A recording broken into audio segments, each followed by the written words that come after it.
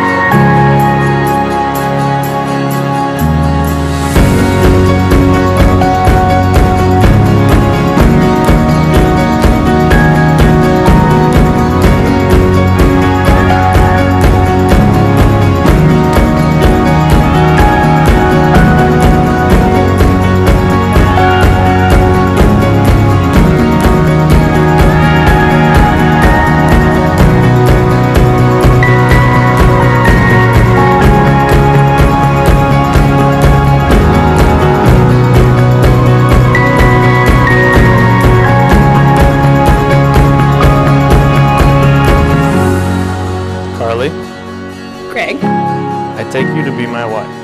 I take you to be my husband. From, From this point forward, to join, with you, and to share, all that is to come, our, way. our way. To be your faithful husband, To Be your faithful wife. To, to give, and to receive. and to receive. To speak, speak and to listen.